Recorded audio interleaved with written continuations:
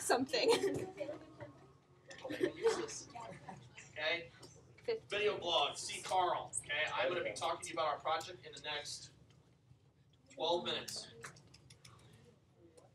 Maybe fifteen, it takes you guys longer than that to do your video blog. Anybody mind? Can you make it clap? Can you make it